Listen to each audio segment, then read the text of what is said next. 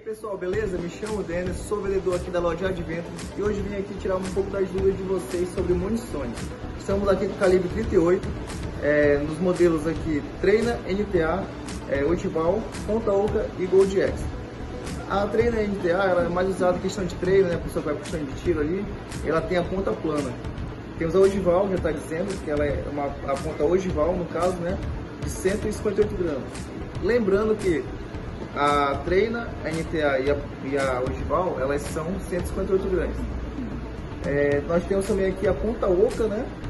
E a Gold X. Ambas elas têm a ponta oca, sendo que a ponta oca normal, ela é semi-camisada. Temos aqui a ponta oca e a Gold X. Ambas elas são munição de expansão, né? Por ter sua ponta oca ali.